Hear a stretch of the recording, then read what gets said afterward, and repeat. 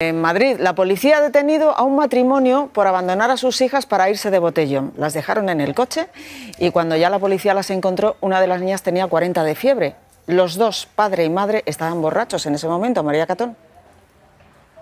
Sí, los dos padres estaban celebrando en esta calle un botellón y cuando llegó la policía municipal se encontró a las dos menores encerradas en un vehículo. Tuvieron que llamar al SAMUR porque la más pequeña, la de dos años, sufría una grave crisis respiratoria.